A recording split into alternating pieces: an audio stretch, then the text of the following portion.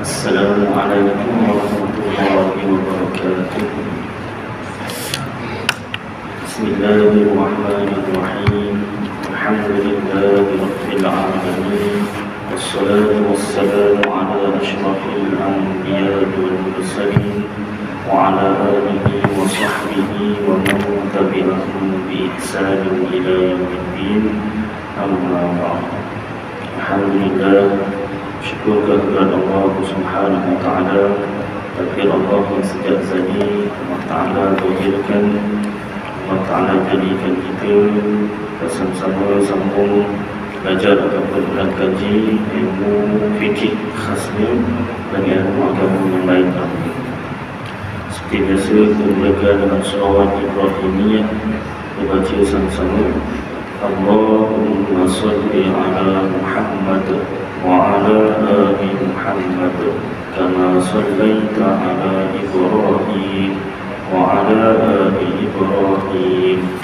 بارك على محمد وعلى آل محمد كما باركت على إبراهيم وعلى آل إبراهيم في العالمين.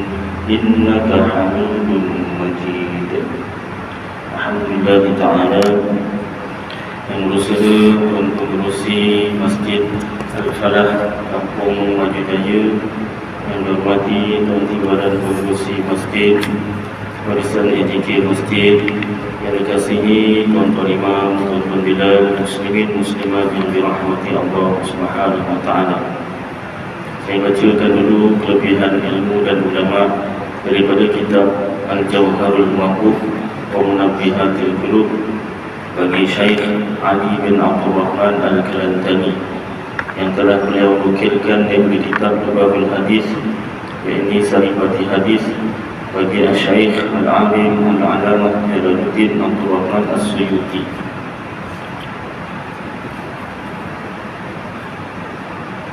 وقال النبي صلى الله عليه وسلم من زار عالما فكأنما زارني ومن صافح عالما فكأنما صافحني ومن جلس عالما فكأنما جالسني في الدنيا ومن جالسني في الدنيا أجلسته معي يوم القيامة dan sabda Nabi sallallahu alaihi wasallam dikurang mafhumnya barang siapa ziarah akan orang alim maka seolah-olah seperti ia ziarah akan daku dan barang siapa berjabat tangan akan orang alim maka seolah-olah seperti ia berjabat tangan akan daku.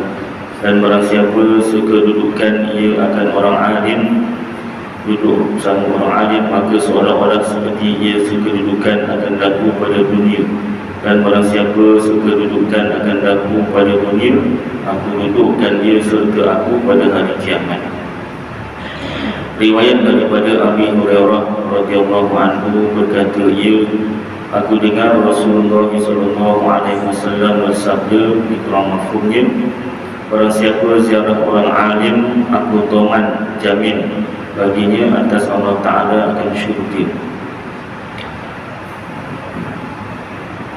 Dan daripada Sayyidina Ali ibnu Abi Talib radhiyallahu anhu bahwasanya berkata ia sabda Rasulullah wasallam bikram mafhumnya barang siapa ziarah akan orang alim yakni pada kuburnya kemudian membaca ia di sisinya akan satu ayat daripada kitab Allah nescaya memberi akan dia oleh Allah Ta'ala dengan sembilan bidang langkahnya satu mahligai di dalam syurga dan adalah baginya dengan tiap-tiap. Satu huruf yang dibacanya di atas kuburnya satu mahligai di dalam syurga daripada emas seperti yang tersebut di dalam Riyadul Rayyahin begitulah beberapa hadis tentang kelebihan orang alim. Mudah-mudahan dapat kita amalkan dan sampai-sampaikan insyaAllah. Ustaz orang alim ke tidak? Saya satu pesan Kita ni bukan orang alim ha, Kita ni tukang baca kitab orang alim ha, eh? Jadi tuan-tuan jangan anggap saya orang alim Saya tukang baca kitab orang alim saja ya? kalau tuan-tuan boleh baca kitab eh ha, sama kita sama okay? baik Mari kita sambung pembacaan kitab Matalahul Badrain wa Majma'ul Bahrain. Nah, ini dah hilang tulisan Bagi Syekh Al-Abu Al-Fakir Al-Fani Muhammad bin Ismail Daud Fatani Ulama Fatani Fatani Thailand? Yang Jawi itu surat 20 Yang Rumi surat 46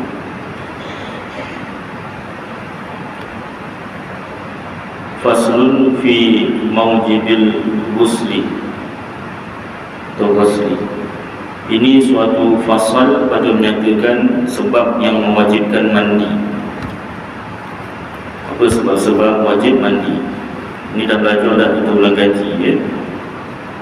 dan yang mewajibkan mandi itu salah suatu daripada enam perkara Ha, salah satu daripada enam perkara tiga daripadanya bersekutu padanya laki-laki dan perempuan sama.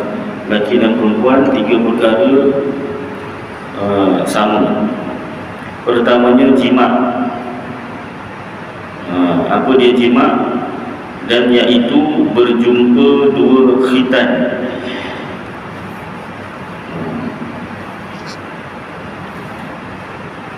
dua khitan dua al-kamilah yang ini digaibkan oleh uh, yang hidup lagi wadih.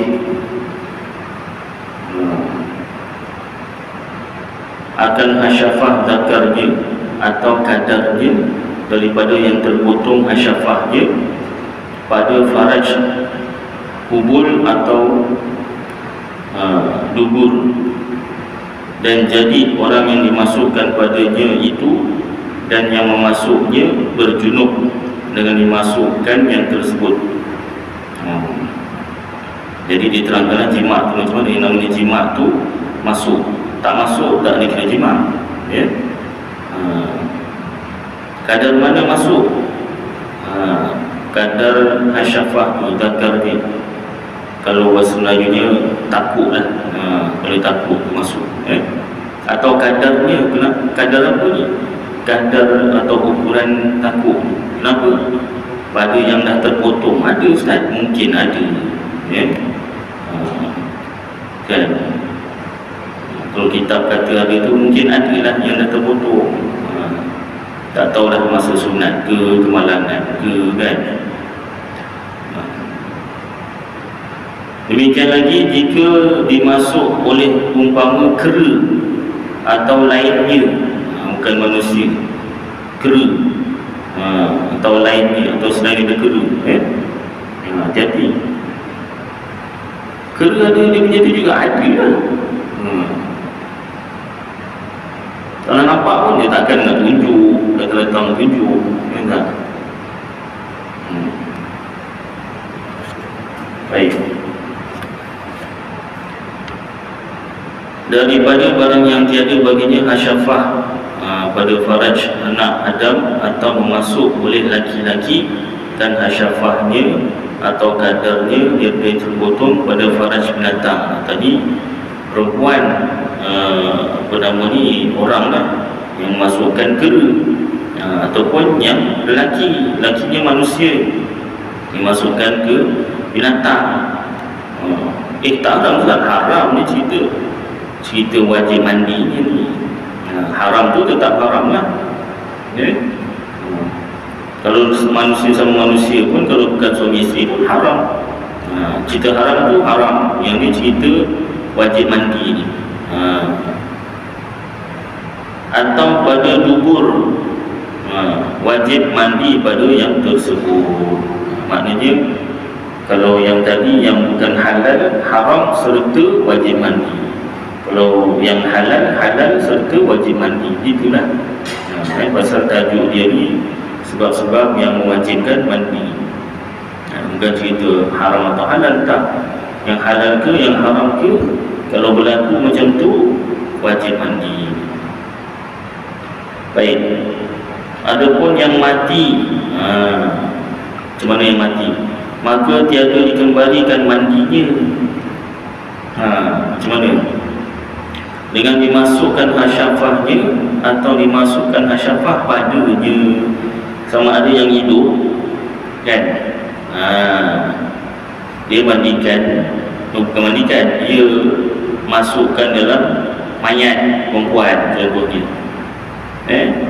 Yang mati tadi tu dah dimandikan. Tak wajib di, diulang balik mandi untuk mayat. Ha, yang hidup tu lah kena kena mandi wajib haram sah haram lah apa pula mayat dimasukkan dia tu kan haram ha. atau dimasukkan siapa atau ataupun yang mayat tu tadi ni ceritanya yang pertama mayat ni perempuan ha. jenazah lah dia, dia semandi kan ha, tapi belum siap kafan ni eh. ha. mayatnya dah dimandikan ha. lelaki yang hidup ni dimasukkan jadi yang mayat tu tak wajib mandikan lagi tak. Ha, yang hidup ataupun yang yang mati itu lelaki. Ha, yang hidup yang mati itu lelaki. Yang perempuan ni yang hidup. Ha, maka yang mayat tu tadi yang lelaki tak wajib dimandikan balik. Kalau belum kalau dah mandi lah. Kalau dah dimandikan. Ha, eh, yang perempuan tu wajib. Haram haram tetap haram lah eh? Dan ada pun khunsa dua alat kelamin yang muskil maka tiada wajib mandi atasnya dengan dimasukkan hasyafahnya dan tiada pula dengan dimasukkan hasyafah pada kubulnya ha, dan wajib mandi atasnya jika dimasukkan pada duburnya ha, ini special untuk khunsa eh?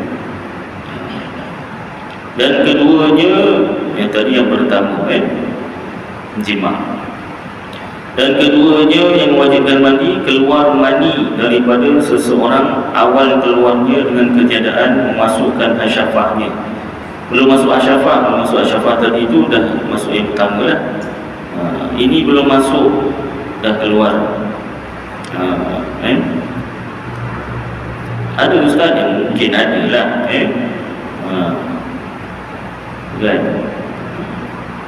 first time baru apa baru kahwin apa contoh kan. Ha, belum masuk eh dah game. Contoh kan contoh. Ha. dah game juga dah keluar mandi dah game tak faham pula game. Baik. Dan jika kalau sedikit sekalipun sikit je ustaz ya dah wajib mandi dah. Habis tak boleh teruskan? Boleh lah teruskan ni kalau awak tak teruskan.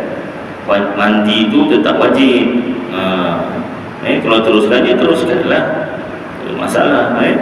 Ha, kalau suami isteri lah teruskan kalau bukan suami isteri jangan teruskanlah eh.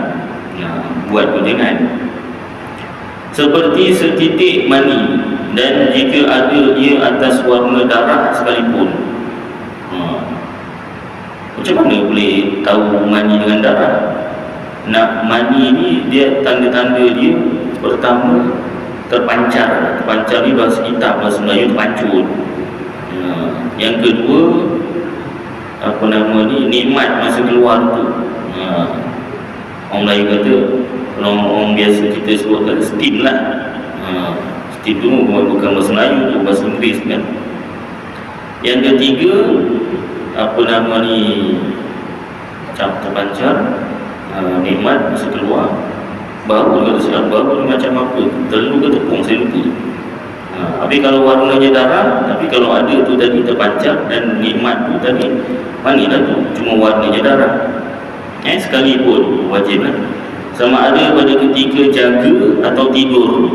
Ha, masa sedar ataupun masa tidur mimpi tu kan keluarnya. Ha, keluarnya dengan syahwat atau lainnya. Ha, keluar ia daripada jalannya yang beradat jalan yang biasalah depan lah. Keluar daripada kemaluan kemaluan lah. Ha, lelaki atau perempuan lah. Atau lain je. Ha, atau keluar dari tempat lain atau macam mana boleh tertukar jalan tu kan ha, bersalahan mani yang lainnya seperti keluar daripada faraj perempuan mani jimaknya kemudian daripada mandi junub ha, maka tiada wajib atasnya mengembalikan mandi. Ha, perempuan dah berjunuk ha, katalah dengan suami. Mandi dah siap mandi semua eh keluar lagi. Ha, tak wajib mengembalikan mandi lagi. Jika tiada ada baginya syahwat ha, kalau tak ada syahwat lah. Seperti perempuan yang kecil atau yang tidur ha, kecil atau tidur dan persalahan keluarga pada kali yang kedua ha, seperti memasuk laki-laki akan mandinya ke dalam takarnya kemudian daripada mandi dan keluar ia tiada ha, dan keluar ia tiada wajib atasnya mandi ha, ha. eh, tak sama pula keluarnya pada kali yang kedua seperti memasuk laki-laki akan mandinya dalam takarnya ha. Kemudian daripada mandi. Dan keluar ia tiada dan keluar ia jadi wajib atasnya mandi. Baik Ulang dulu ya Pada bab yang perempuan ni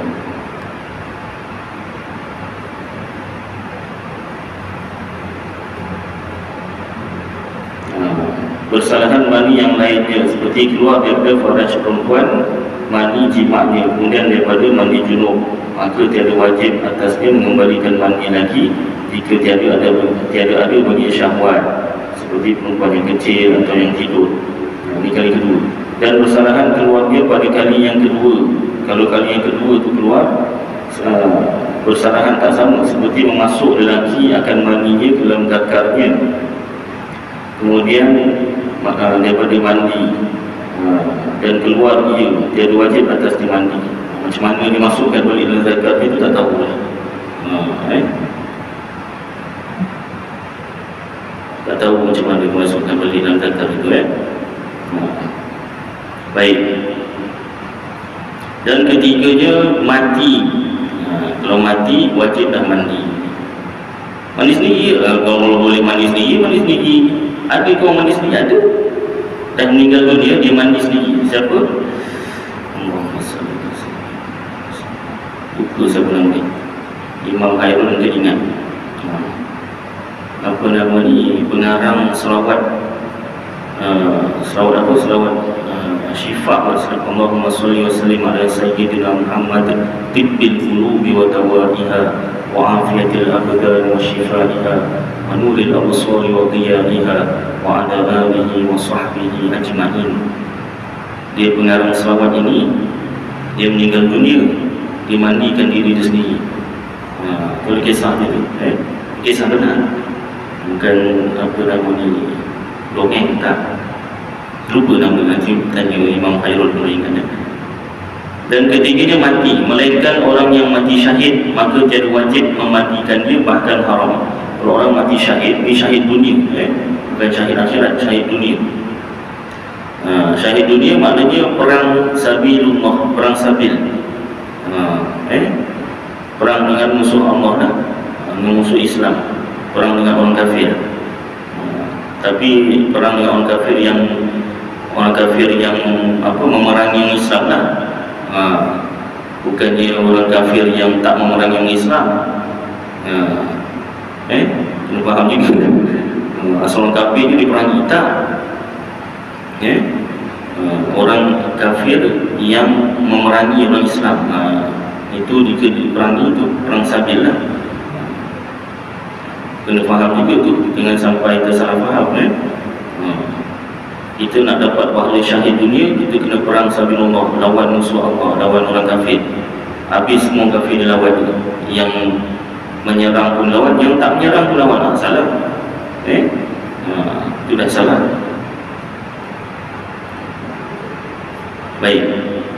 Ada itu saat yang ya cerita kita kena bom bunuh diri dan sebagainya itu ha, itu orang kafir yang tak tak melawan yang tak menyerang orang Islam ha, haram kita perangi yang kita wajib perangi itu yang memerangi Islam Baik, sambung eh. Jadi syahid dunia. Ha, kalau syahid akhirat, syahid akhirat ni dalam bab yang lain lah, eh, syahid akhirat. Tapi dia tak masuk dalam mati syahid yang tiada wajib dimandikan.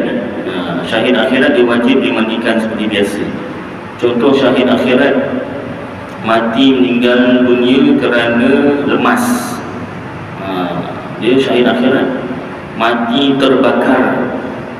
Uh, mati yang sangat dahsyat matinya yang sangat sakit. Contoh kemalangan. Sangat sakit. Kan lagi apa? Kok macam itu mak rempit tu kalau mati tengah merempit syahid lah syahid akhirat itu salah satu cara Allah Ta'ala nak ampunkan dosa dia. Itu sebab kita jangan hina-hina sangat. Yang kita hina tu ialah perbuatan itulah mengganggu orang lain itu perbuatan dia. Ha, tapi di, diri dia tu sendiri jangan kita pandang rendah. Hmm. ya tak nasihat kena nasihat. Lah. macam orang jahat kita benci perbuatan dia bukan diri dia tu. Ha, diri dia tu wajib kita dakwahkan ajar kepada kebaikan. Hmm? dan lah apa nama mati accident tengah merepit hari Jumaat pula tu. Masya Allah kan walaupun mak rempit kan tapi ceritanya bukan saya suruh merepit tidak. Ha, ini ceritanya pasal eh uh, jangan satu jangan pandang rendah pada makhluk.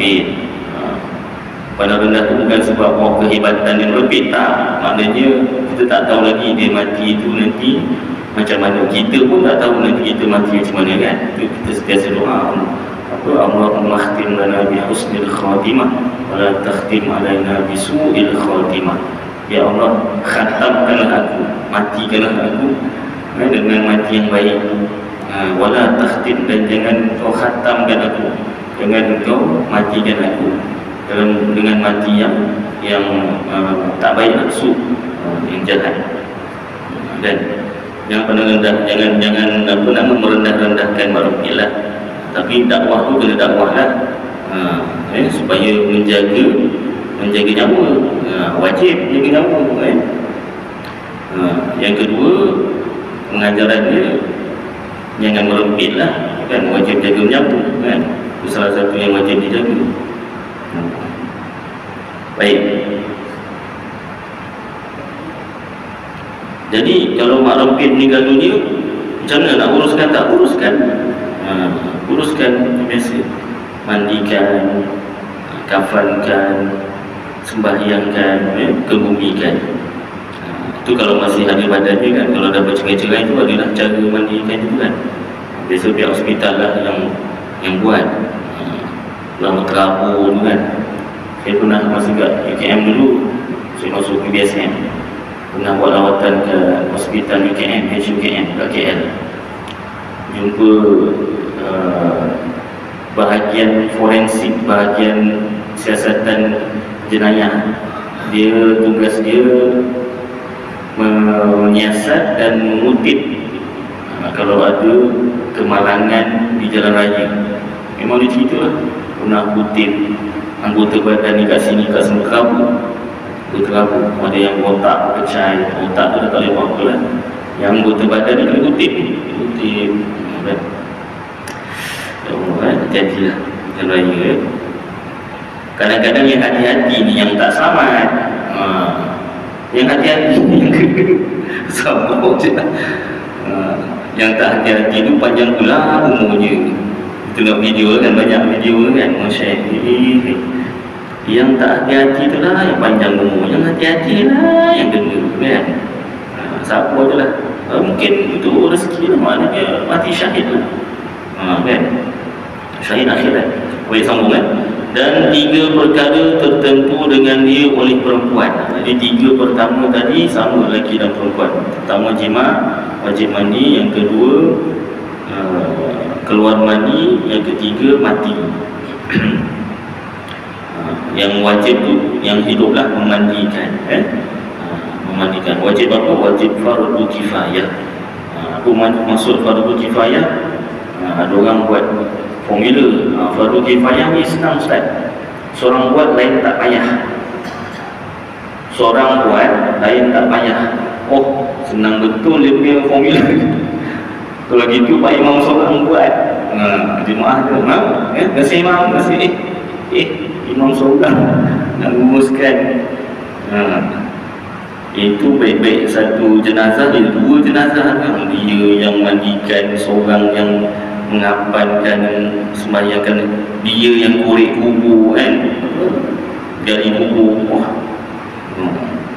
memang dari segi formula itu betul. Seorang buat yang tak payah. Tapi ada bab-bab tertentu tak lepas. Contoh sembahyang fardu berjemaah ha, di masjid atau di surau itu fardu kifayah. Mana boleh seorang? Ha. Kurang-kurang kalau tak manusia apa manusia dengan manusia paling kurang pun manusia dengan jin ha. jadi kena ada dua orang juga lah dua, dua juga lah ha.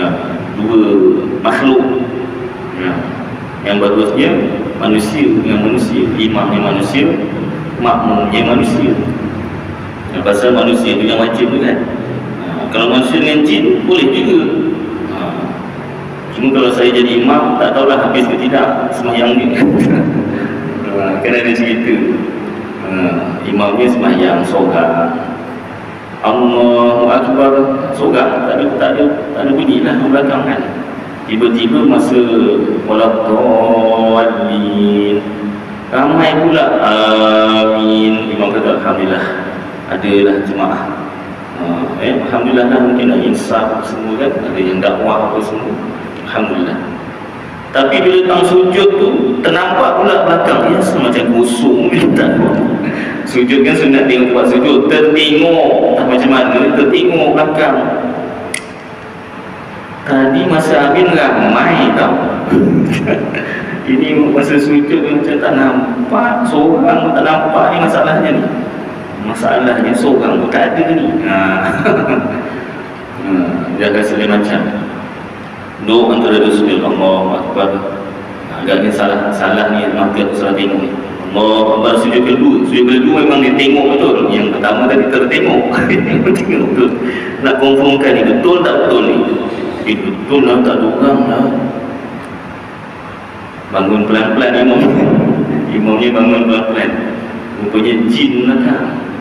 Nah, ya? Jin pun ada yang Islam. Ya. Sebayang kalau amin kuat tu Biasa mungkin subuh maghrib isyak lah.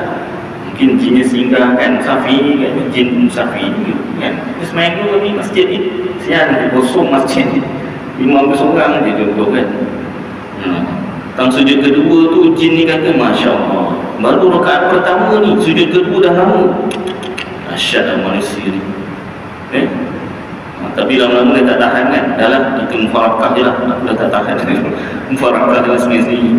Bangun Eh tak ada imam ni Dah balik hmm. Cerita tak tahu lah kisah benar ke Tipu ke eh? Tapi ada pengajaran lah. Pengajaran ni Manusia tak datang Jin datang. Hmm. eh? Yang kedua nak jadi imam pun berani juga.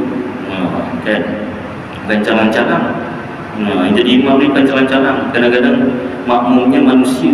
Kadang-kadang makmumnya jin. Ha, Dengan pula oh, cerita macam ni Takut semua jadi imam Tak lah eh? dia, dia jin baik. Dia tak kacau Yang yang yang gondorowo tu jin jahat. Wah, itu, itu, itu jin jahat. Ni jin yang sembahyang ni jin baik ni. Eh? Cuma ada satu ha, ni, ni cerita kisah benar juga. Yang tadi tu tak tahu benar ke tidak Tapi yang ni kisah benar Ada satu orang ni Bila dia sembahyang Dia nampak hantu ha, Itu masalah ni Memang mengacau betul lah Memang cara hantu tu nak buat si Apa ni perempuan ni tak sembahyang. Bila dia sembahyang je Nampak hantu. Masa sembahyang. Ha, jadi tengah semayang dia diam macam dah ha. Jadi bila macam tu banyak kali Dia dah jadi tak nak semayang ha. Dah jadi tak nak semayang Ada yang Yang jenis syaitan macam tu eh? Muka ngajar untuk syaitan tu. Dia bukan bisik Jangan semayang. Malas-malas tak. Dia punya kacau tu orang tu sembahyang dia start Allah Akbar tak bersihiram perempuan. Masa tu lah kena kacau nampak. Lah dah rukuk jadi isteri saya uh, ni, uh, tersebut isteri saya cakap dengan dia uh, kawan isteri saya. Isteri saya cakap cubalah pejam mata. Oh lagi takut kenapa? Kan tiba-tiba terbuka mata ni kan itu tak lagi payah. Lanjut. Dia tak. Oh lagi takut dia nak tutup mata. Hmm. apa hukum tutup mata? Asalnya makro kecuali menambahkan khusyuk. Tapi kalau buka mata dia nampak hantu dia kan tutup mata. Oh, ingat selesa ke semayang tutup mata sekejap mungkin selesa lah kan. Dah lama dia bilang tak boleh tiram sampai pergi salam nak tutup mata dia tu kan. Kan tak selesa. Dia boleh macam tu cuma takut dia terbuka mata. Syaitan dia ah gitu jangan scare jadi jangan kebatal pula semayang. Jadi macam mana dia buat keputusan? Tak payah semayang. Ah payah. Hmm. susah juga tu nak nak mengumpat nak kena jumpa apa nama mungkin ada saya jumpa seorang yang pandai yang tu pandai menghikmah lah ha, yang boleh masuk dalam jin apa semua dia kata gini. Perempuan tu sebenarnya ada kelebihan boleh nampak. Ha, cuma yang masalah dia ni yang jin tu atau syaitan tu tadi dia tunjukkan muka maksud dengan semayang. Memang dia tujuan tu supaya tak semayang lah. Ha. habis macam mana tu Ustaz? Dia kena apa nama buang lah kelebihan tu kena buang. Dia ada dua. Yang pertama dia teruskan kelebihan tu. Mana dia belajar lah ilmu-ilmu semua kan. Cara mengubat apa semua kan. Cara halau apa semua. Baca lah ya Allah macam mana filem tu. Oh, mana kan? Ha, tu kalau dia nak teruskan lah boleh berani. Kalau tak berani ha, carilah apa nama ni amalan-amalan tu. Buang kelebihan dia tu kan. Nampak jin. Nampak syaitan kan baik-baik sambung sikit ha, panjang pula. Dan tiga perkara ha, tertentu dengan dia oleh perempuan. Ini khas untuk perempuan dan iaitu mandi haid ha, iaitu darah yang keluar daripada perempuan yang sampai umur dia 9 tahun. Ini kebiasaannya umur 9 tahun lah. Ada juga yang sampai umur 17 tahun tak keluar haid. Umur 18 baru keluar haid. Juga ha, itu pun kisah benar juga ada ini orang apa? Biasanya perempuan normal umur 9 tahun. Dan mandi nifas ha, mandi wajib sebab nifas. Dan iaitu darah yang keluar mengiringi beranak. Lepas beranak tu ada darah ha, itu nifas. Dan mandi wiladah yang menyertai dengan basah. Ha, mandi wiladah yang basah. Mewajib bagi mandi diputuskan dia oleh ulama dengan jada khilaf dengan jada perbezaan pendapat dan yang sunyi daripada basah ini kering ha, dengan bahawa kering anak tak keluarnya mewajibkan mandi beri kaum yang asah kaum yang kuat yang yang lebih kuat dan Mukabil sebaliknya yang asahnya tiada mewajibi bagi mandi. Ada juga pendapat yang kata tak wajib mandi. Ya? Baik, habis tentang uh, sebab-sebab mewajibkan mandi. Faslun ini suatu fasal wa faraidi. Uh, fardu-fardu al-wasli atau al-wasli salah satu tiga. Ini suatu fasal bermula fardu mandi itu wajib mandi itu tiga perkara rukun-rukun dia eh? pertama niat maka diniat oleh yang berjunub yang ada hadas besar ni mengangkatkan janabah atau mengangkatkan hadas akbar hadas besar atau istibahah fardus solah ha. atau fardul wasl atau ghusl ha atau adaan fardul wasli atau husli atau al-wasul mafrud atau mandi yang wajib ada banyak cara lah biasa yang kita belajar di seluruh agama Johor saja aku mengangkat atas besar kerana Allah Ta'ala. Okay. dan tiada memadai niat mandi juga. Tak sah kalau niat mandi saja aku mandi dan Allah Ta'ala tak sah. Kena sebut mandi wajib atau mengangkat hadas besar. Hmm, kena sebut itu. Dan diniat oleh perempuan yang haid atau nifas mengangkatkan hadas haid atau nifas kalau yang haid dan nifas niat mengangkatkan hadas haid atau mengangkatkan hadas nifas. Dan wajib disertakan niat pada awal basuhnya. Bila nak niat tu mula-mula basuh badan kepala lah. Supaya dibilangkan basuhnya supaya basuh tu dikira. Ha, eh, itu masa nak niat eh. azan termasuk isyak azan kita sambung sikit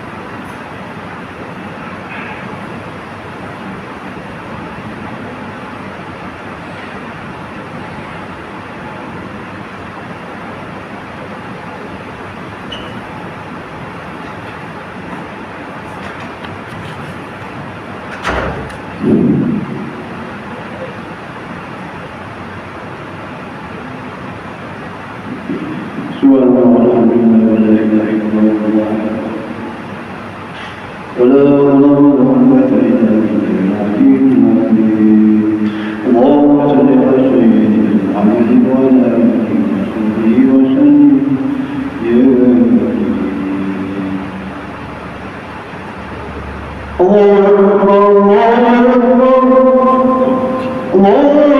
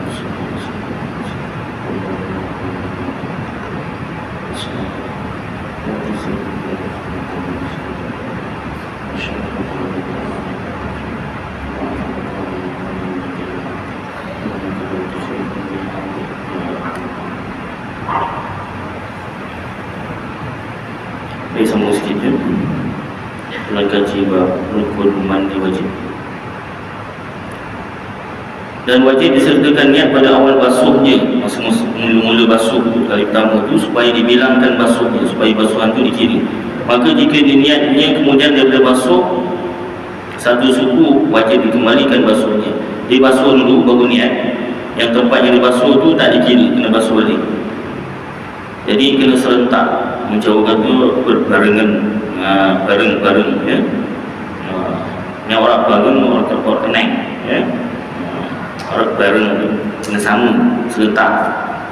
Keduanya menghilangkan najis. Rukun kedua menghilangkan najis Jika ada ia atas badannya Kalau najis itu atas badan. Dan ini barang yang dirojihkan Oleh Rafi'i Yang di, yang dipegangi oleh Imam Rafi'i Dan atasnya. Maka tiada memadai sekali basuh. Jadi Pendapat Imam Rafi'i Kalau sekali basuh tak cukup. Ha, Daripada hadas. Ha, Maknanya Kena hilang basuh untuk hilangkan najis dulu Baru basuh untuk mandi. Dan najis dan dirajih oleh Nawawi akan memadulah sekali basuh daripada keduanya. Imam Nawawi kata boleh sekali jalan sekali basuh untuk hilangkan najis dan untuk mandi wajib. Dan ialah yang rajihnya itulah yang yang kuatnya dan empat khilaf perbezaan pendapat antara keduanya antara Imam Nawawi dan Rafi'i. Barang yang apabila ada ia najis hukmi. Najis dari segi hukum saja dah tak nampak najisnya.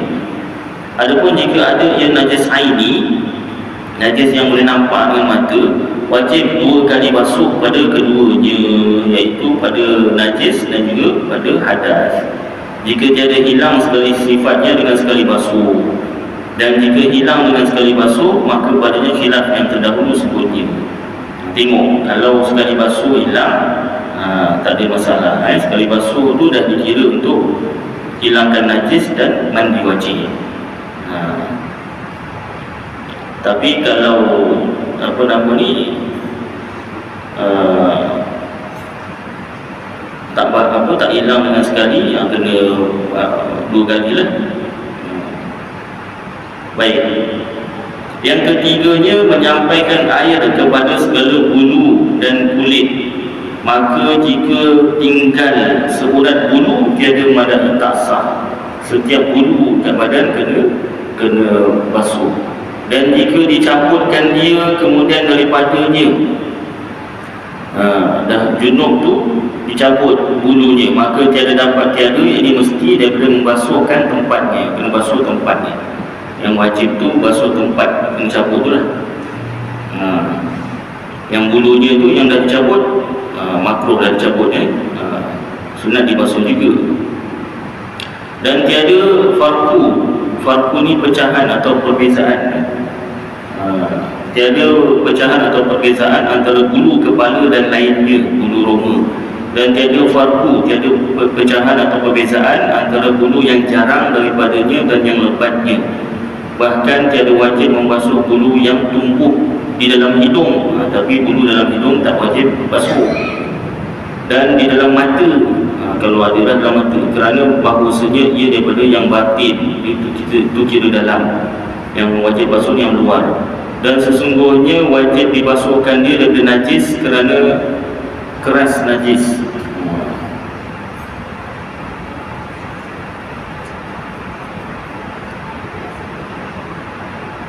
kerana keras najis dan rambut yang di yang di jalan yang dijalin di jalan yang dijadin yang diikat dan yang disanggul. Wajib diuraikan dia jika tiada sampai air kepada batinnya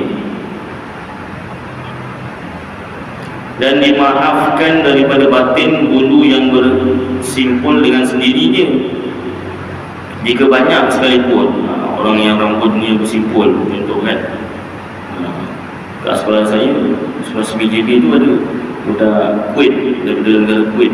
Uh, memang rambut dia apa nama bersimpul kan.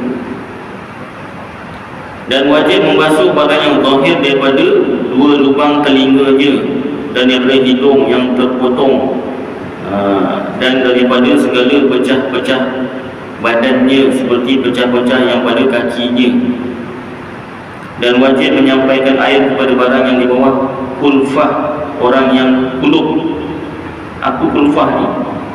Kemaluan lelaki yang kulub yang apa nama ni yang apa nama ni uh, tak tak sunat ni.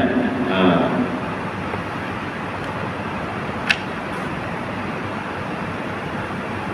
ha, kulit khitan orang yang kulub naik tidak berkhatan. Kulub ni tak berkhatan eh bawa dalam-dalam dia tu kena kena sampaikan air.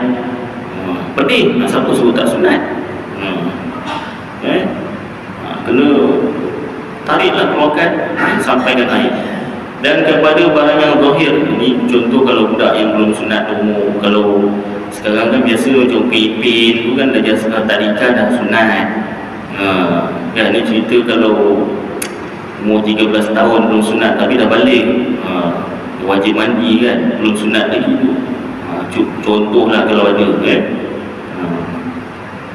jadi kena sampaikan kena ditarik kan dan kepada barang yang zahir daripada faraj perempuan tak kala duduknya pergi kotak hajat masa nak buang air besar apa yang zahir itu wajib kenakan air. Kerana keduanya daripada anggota yang zahir. Dan jika tiada dapat membasuh di bawah kulfah melainkan dihilangkan dia kena kena sunat dulu boleh uh, sampaikan air dan saya wajib ya kena, kena sunat. Ya, sunat tu memang wajib kan? Dan jika mudur maka sembahyang dia seperti fakidut tuhur. Uh, fakidut tuhurin. Uh, ini pada yang hidup. Uh, tu kalau apa nama ni waktu sembahyang masih ada nak sunat tu ambil masa. Jadi dia kena sembahyang menghormati waktu lah nanti kena kotak balik tu pasal menanggung najis adapun yang mati kalau mayat tak sunat eh, atau tak sebab sunat yang mati maka sekiranya tiada dapat membasuh barang di bawahnya tiada wajib dihilangkan dia tak wajib disunatkan. Kerana yang demikian itu menghinakan mayit. Ha, dan ditanamkan dia dengan tiada sembahyang. Mandikan kafankan. Tak disembayangkan atas yang muktamad pada Syarif Romli. Dan pada Syarif Ibn Hajar ditayamumkan dia ganti daripada membasuh yang di bawahnya dan disembahyangkan atas dia kerana darurat ha, yang ini lebih baiklah. Siapa menutup malu eh? dan setengah daripada barang yang wajib membasuh akan dia ha, musrabah. Masrabah iaitu perhimpunan lubang dubur. Kerana zahir ia pada waktu qada hajat ha, masa qada hajat itu cangkung tu ha, itu wajib masuk tu. Apa nama? Dubur masuk lubang dubur kan maka jadi ia zahir badan. Maka dikembangkan dia sedikit supaya sampai air kepadanya dan sunatnya amat banyak setengah daripadanya sunat mandi ini menghadapkan ke kiblat kepada kiblat. Dan mengucap bismillahirrahmanirrahim. Ustaz kan kat tandas. Asalnya dulu orang Islam tandas lain bila air lain ha, sekarang dia campur ha, eh? jadi kalau dalam bilik air betul boleh ucap bismillahirrahmanirrahim macam saya pernah pergi rumah Cai Ismail masa tu nak berubat ke maka kaki patah nah, dah sibuk semua dah Kiai kata ni masuk mandi baca bismillahirrahmanirrahim. Dia bilik air, tandas kat sebelah tempat lain. Bangunan pintu lain. Ha, bilik air ni pintu lain, tandas pintu lain. Jadi dalam bilik air tu boleh baca bismillah. Ha, ambil wudu pun boleh baca ha, dalam dalam bilik air tu. Ha, tapi kalau rumah sekarang situ dah air, situ dah tandas, ha, tak boleh. Ha, eh? Tapi dalam hati je lah baca. Dan mengucap Bismillahirrahmanirrahim Disertakan dengan awal niat dia. Kemudian disebutkan lafaz niat. Sunat disebutkan lafaz niat. Dan membasuh dua tapak tangan Sunat Dan menghilangkan yang luat-luat pada tubuhnya Dan mengambil wuduk dahulu daripadanya sunat Dan diniat dengan dia sunat mandi junub. Wuduk, uh, wuduk tu uh, niat uh, sunat mandi junub lah seperti dikatanya nawaitul wudu'a di sunnatil ghusli nawaitul wudu'a di sunnatil ghusli ha. ini sengaja aku mengambil wuduk bagi sunat mandi junub. Ini jika sunyi jarabatnya daripada hadas yang kecil. Junubnya daripada hadas kecil. Dan jika tiada maka hendaklah diniat dengan dia akan hadas yang kecil. Dan menggosok-gosokkan dengan tangan atas barang yang sampai kepadanya daripada jasad badan. Dan mualat ha, yang telah terdahulu maknanya berwuduk di sana. Jangan uh, jauh perantaraan niat eh, basuh najis dan juga menyampaikan air jangan diselang masa yang mualat dan sunat lah sunat. Jangan jangan lebih. Uh, apa ni tempoh masa berhenti. Dan mendahulukan pihak yang kanan atas pihak yang kiri. Kanan dulu baru kiri. Dan tinggal daripada beberapa sunat mandi junub beberapa perkara yang disebutkan dia dalam kitab yang panjang-panjang. Setengah daripadanya meniga-nigakan membasuh. Basuh tiga kali tiga kali. Dan menyelat-telati akan bulunya dahulu daripada membasuhnya. Allah Alam bisawab itulah beberapa perkara tentang rukun mandi dan sunat-sunat mandi ya, mandi wajib. Mudah-mudahan apa yang kita baca dan dengar dan manfaat itu disebut tuan-tuan. Buat kita amalkan dan sampai-sampaikan insyaAllah lupa lihada wa astagfirullahaladzim liwaikum wa lisairil muslimin wal muslimat wal mu'minin wal mu'minat astagfiruh wa ya fawzal mustagfirin wa ya Allah, Ya Rahman, Ya Rahim Merdekakanlah kami daripada kejahilan tentang ilmu tauhid, fikih dan tasawuf ya Allah. ربنا آتنا في الدنيا حسنة وفي الآخرة حسنة وقنا عذاب النار. وصلى الله على سيدنا محمد وعلى آله وصحبه وبارك وسلم. سبحان ربك رب العزة عما يصفون. وسلام على المرسلين والحمد لله رب العالمين.